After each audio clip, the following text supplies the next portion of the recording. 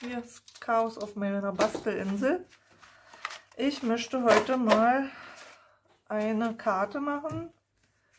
Äh, den Namen habe ich wieder vergessen, aber ich habe das von dem Video von der lieben Stempel doch mal. Und die Karte heißt, also die Technik für die Karte heißt Scrappy Stripe Technik. Also Scrappy, meine ganzen Reste, juhu, und Stripe.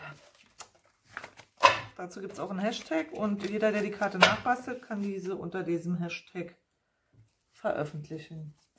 So, ich habe da schon mal was vorbereitet und zwar brauchen wir eine Basis, wo wir die Scrappies, also die Streifen, rauf, äh, raufkleben. Die ist 9 x 13 groß. Äh, dann äh, später machen wir noch einen Aufleger dazu, auch aus der gleichen Farbe und meine Streifen. Ich habe mir rausgesucht diese hier und möchte die hier raufkleben. Dazu passend habe ich noch nicht so richtig was, aber ich glaube, ich nehme die hier, die und die Seite und vielleicht auch noch die oder die. Also Fakt ist jedenfalls, man muss die Streifen so ein bisschen schräg schneiden, wie man ja sieht. Sie dann irgendwie schön hier rauf trapieren. Ich überlege, ob ich was Rotes dazwischen machen will. Ne? Das, das sieht gut aus. Ja.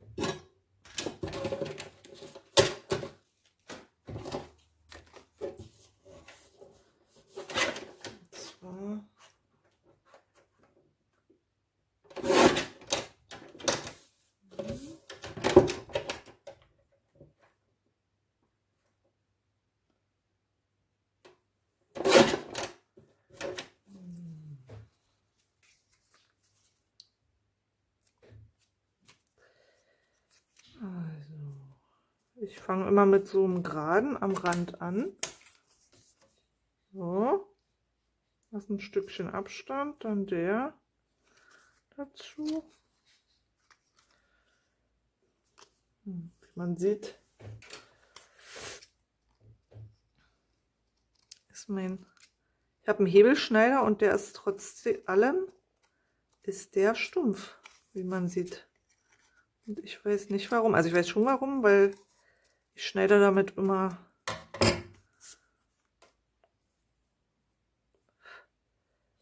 Na, wie sieht das aus? Ja. Ich schneide damit immer meine Pappe, also für die Mini-Alben und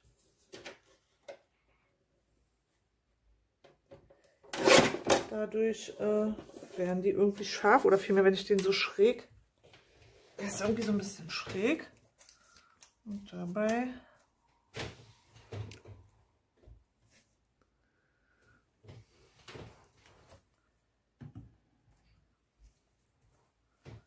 der irgendwie stumpf. Nee, ne?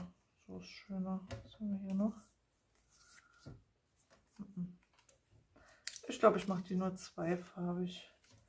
Mit den Palmen und mit den Streifen, oder? Was sagt ihr so?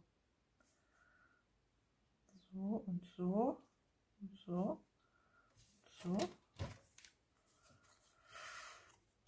Mhm.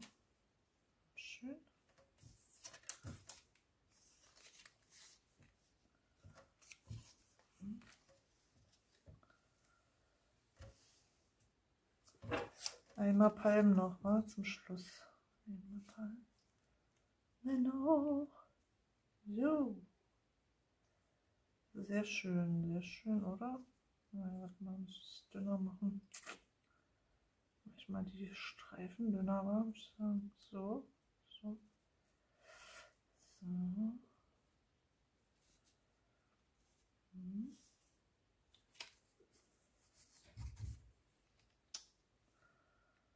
So. Kleben wir das jetzt auf. Ich find's mega.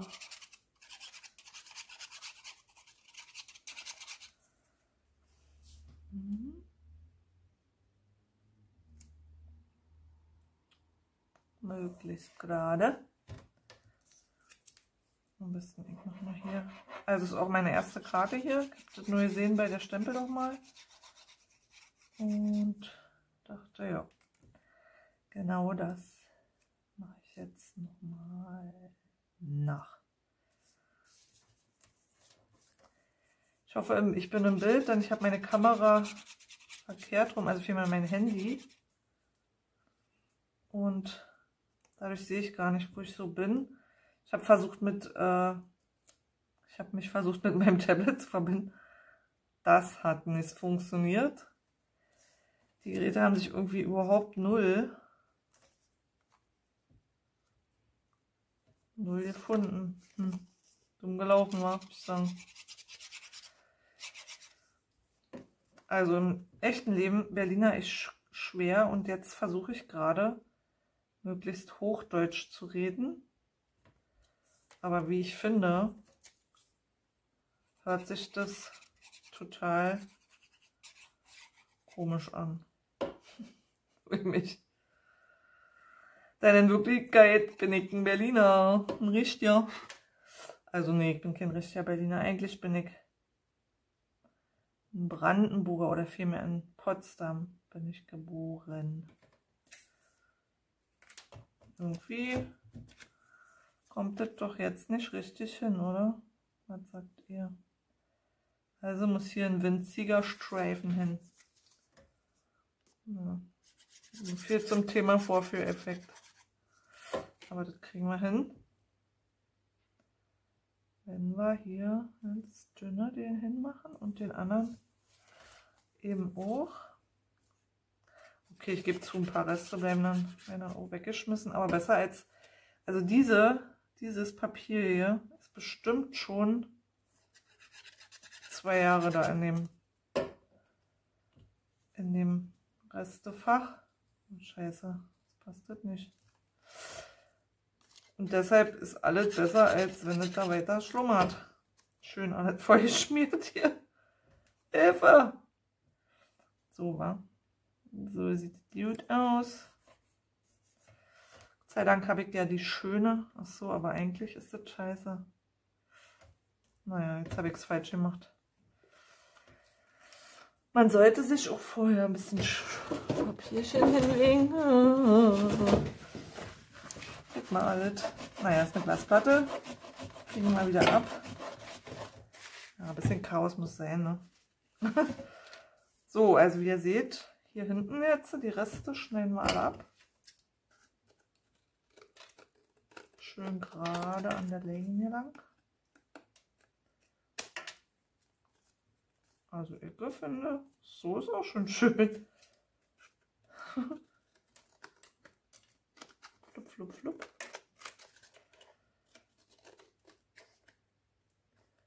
Ja, wie man sieht, so hätte ich das vorne auch machen sollen, aber ist egal. Schön die Superschere. Okay, erstmal alle Reste weg.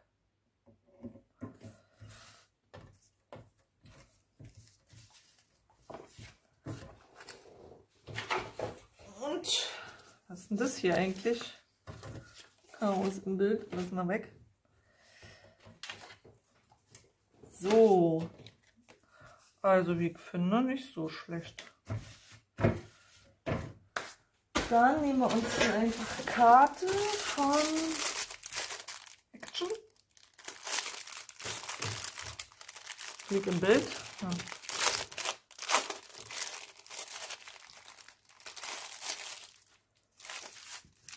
Die Karten sind, was steht da, 8 mal C6 heißen die also, die sind 10,5 mal 14,7, naja.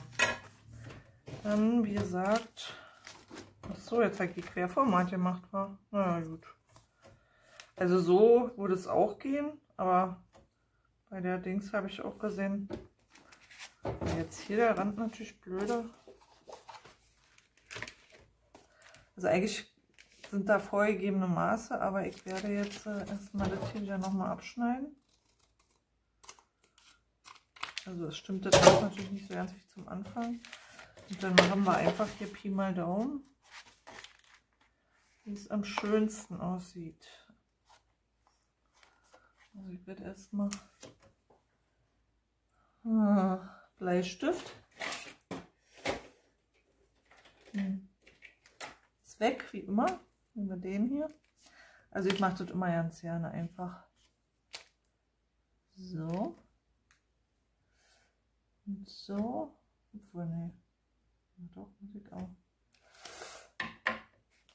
Und dann schneiden wir das einfach zurecht.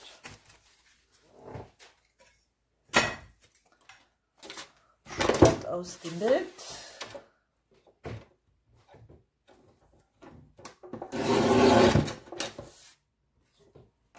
Hm, das Ganze ist jetzt 14 mal 11,2. Schauen wir mal. Na, da hat irgendwas nicht gestimmt, wa? Achso, da. Hey, sehe das nicht richtig. Jetzt habe ich es, jetzt habe ich es. Also 14 mal 10,7 ist das. Naja, Chaosbastelei mit Dörte. Aber man lassen? Kann man lassen, wa? Nicht gut. Ja, hier unten ist die Ecke ein bisschen, aber Okidoki, legen mal fest. Also hier ist nicht Tacky Glue drin, sondern Buchbinderleim. Den bestelle ich mir immer beim großen A. Und fülle den in die Flasche, weil die einfach super war. Aber der Tacky Glue war auch super, aber so prinzipiell dann teurer als der Leim, wenn ich den, glaube immer 200 oder 500 Milliliter, weiß ich jetzt gar nicht. So, schön gerade natürlich auf die Öffnung achten, ne? Schon öfters auch mal falsch auf hier klebt. Falzbein nochmal richtig schön andrücken, weil ich finde, das hier ist ein schlimmes Falzbein, aber ich habe mir ein neues bestellt. Yeah. So, blau auf blau ist nicht wahr? Und dann nochmal so drauf.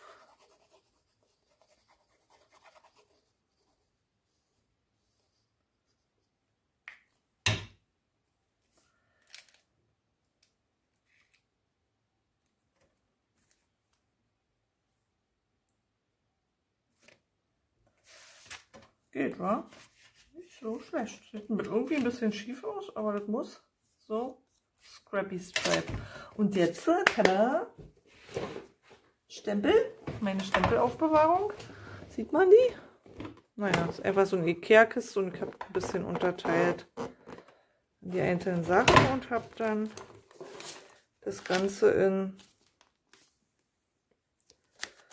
CD-Hüllen verpackt. Meistens passt es nicht so, aber für mich reicht das. Ich habe schon alles Mögliche probiert. Mit, auch mit Ordnern und so, das war nichts für mich. Da ist er. Der oder der. Bin sicher. So, immer schön alles aus dem Bild legen, habe ich schon gelernt bei den anderen. Hier ist er.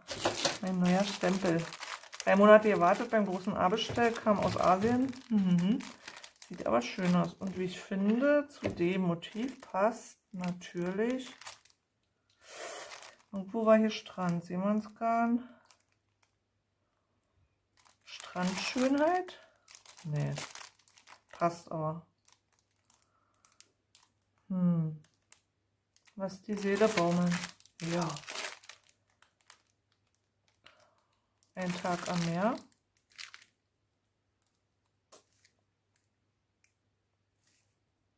Hm, fast alles. Egal. So, erst ein Stempel. Mache mal mehrere. Und dann sehen wir schon. Habe ich auch Streifen hier in Weiß. Meine Stempelhilfe. Ist mir da lieber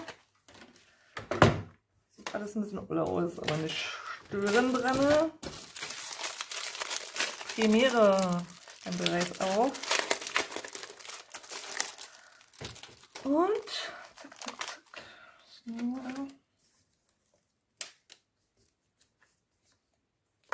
Ja, meine Magnete, wie man sieht, ein bisschen kaputt. Schnürball habe ich mir neu bestellt.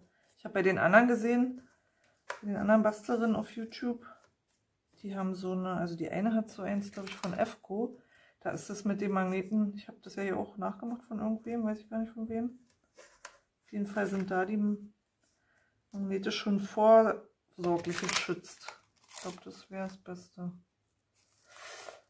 Hm, es geht nichts über frische Seeluft.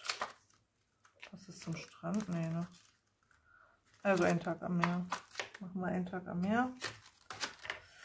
Und Strandschönheit. Ne? Volle Fahrt voraus. Ja, Strandschönheit. Aber lass die Silber müssen die Strandschönheit irgendwie. Hm. Also eigentlich habe ich mir das gekauft für Fotos, wenn ich mal das Album mache, weil ich selten eins mache. Also ich mache viele Alben, aber selten eins, was ich dann auch mit Fotos bestücke. Dafür habe ich mir die Sprüche eigentlich gekauft. Aber hierzu passt es auch. Kann man ja mal verschenken mit einem Gutschein für, für eine Reise oder was auch immer. Mal sehen, ob es jetzt hält. So, hier haben wir neu entdeckt mein Memento. Ich glaube, ich stempel einmal ein Spielblatt ab, weil ich die Stempel nicht kenne, noch nicht kenne. Ist es vielleicht besser, wenn ich das einmal... Uh, sieht man das überhaupt hier? Wenn ich einmal vorher wenigstens abstempel hier. Mal sehen, das wird so nicht klappen, aber nehmen wir mal weg.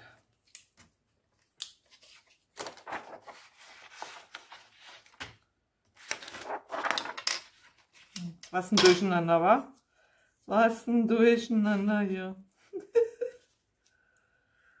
so ist es. So ist es mit mir. Ulala.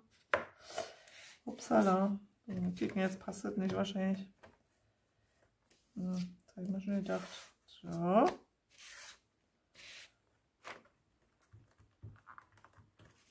Sieht da? Deshalb ist Abstimmen. Oh, sieht gut aus. Bisschen schief war hier. Kann man aber nehmen. Nehmen wir mal das andere.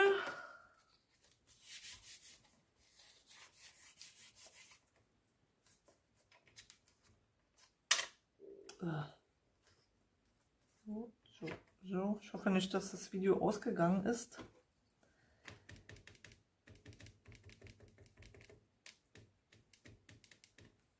Seele baumeln lassen, genau. Also eigentlich habe ich jetzt gerade Urlaub. Seit, also ab morgen eigentlich, aber es ist ja schon Feiertag gewesen, 1. Mai. Und leider, leider können wir nicht wegfahren wegen dem großen C. Eigentlich wären wir heute schon auf Usedom gewesen. Insofern ist ja klar, warum ich das hier bastel. Ein Tag am Meer hätte ich gern gehabt. Tja, dies Jahr nicht. Wir hatten eine Ferienwohnung gehabt, die haben wir jetzt heute gerade. Also wir hatten schon vorher, natürlich hat der Vermieter sich mit uns in Verbindung gesetzt. Da haben wir die schon abgesagt oder umgebucht und einen Gutschein erhalten. Und dann habe ich heute zu meinem Mann gesagt, lass uns mal vorsichtshalber für Oktober gleich mal bei dem Zimmer reservieren, weil die normalerweise nichts frei haben immer. Die da haben wir gemacht, in der Hoffnung, dass bis dahin man wenigstens mal in eine Ferienwohnung fahren darf.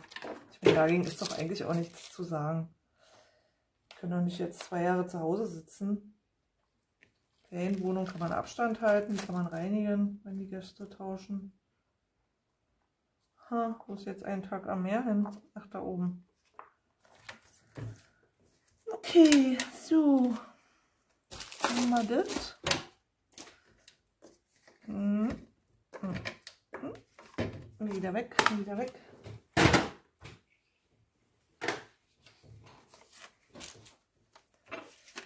Ja, seht ihr? Flüssigkleber. War keine gute Idee. Zumal das Papier relativ dick war, aber gut. Scheiß drauf. mal abschnibbeln. Die großen. Jetzt muss ich mir mal langsam ein bisschen beeilen. Das wäre vielleicht cooler gewesen.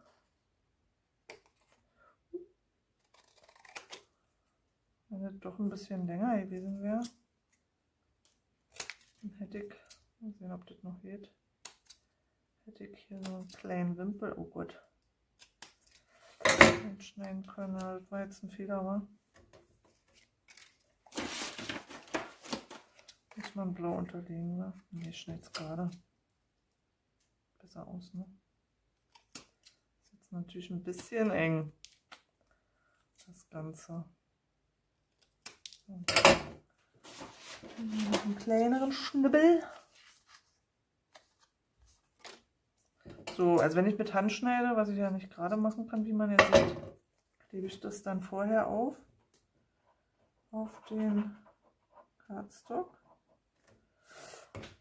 die Umrandung, damit ich dann relativ gerade auch abschneide.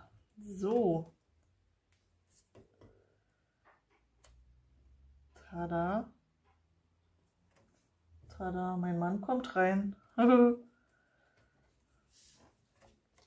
Ist gleich soweit, Schatz. Ich bin gleich fertig. Guckt sich doch sowieso keiner an.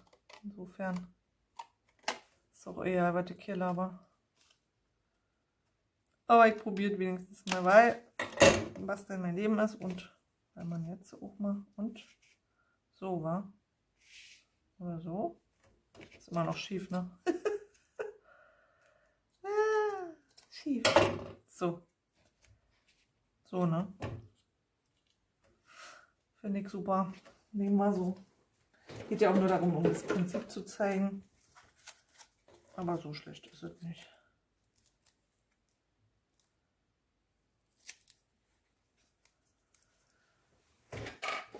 Wo ist meine olle Schere? Hier ist meine olle Schere angeblich beschichtet, wie man sieht. Aber ihr wisst ja selber, das ist hier diese sehr schöne, finde ich besser als die kleinen Schnuppis. Band von also so ja, Abstandstape, aber so günstiges von Teddy oder so. Das klebt wie Hulle. Meistens an den Geräten, aber eben auch auf dem Papier. So, hier, hier oder hier oder hier. Ich glaube, hier ist besser. Hier ist cool. Jo. Okay, fertig. Wenn Sie was mich stört, eigentlich nicht schlecht, finde ich. Was mich stört, ist die untere Ecke. Aber wie ich finde, nicht schlecht. Holt euch mal nochmal ran. Kann man lassen, oder? Okay, das war's. Ich wünsche euch einen schönen Abend. Ich mache jetzt noch eine Karte, aber ohne Kamera. Bis bald. Tschüss.